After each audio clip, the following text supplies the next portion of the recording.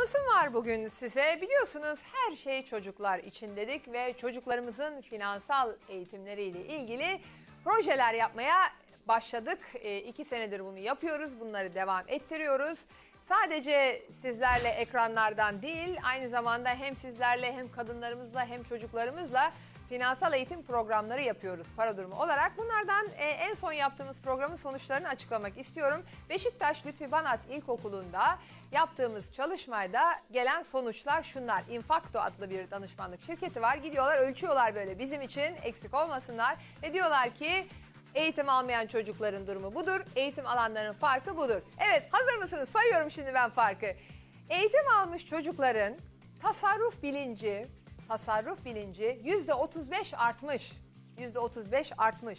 Eğitim alan çocukların evdeki faturaların bilinci yani kaç para elektrik faturası geliyor, su parası geliyor bu yüzde 56 artmış ki bu çok önemli bir konu.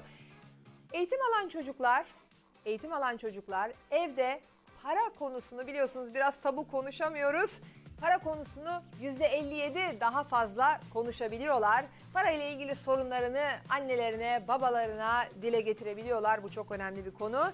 Dördüncü olarak eğitim alan çocuklar harçlıklarından %86 daha fazla bir kenara para arttırabiliyorlar.